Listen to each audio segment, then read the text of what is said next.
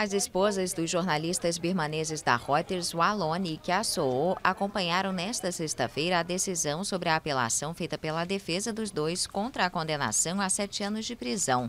Eles foram condenados de violar segredos de Estado por terem investigado um massacre de muçulmanos rohingyas por parte do exército de Myanmar. O juiz afirmou que o veredito em primeira instância esteve de acordo com as leis em vigor. Agora a defesa pode recorrer à Suprema Corte.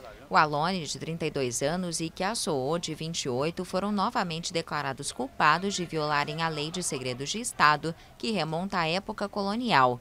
Ambos são acusados de terem obtido documentos relacionados com as operações das forças de segurança birmanesas no estado de Rakhine.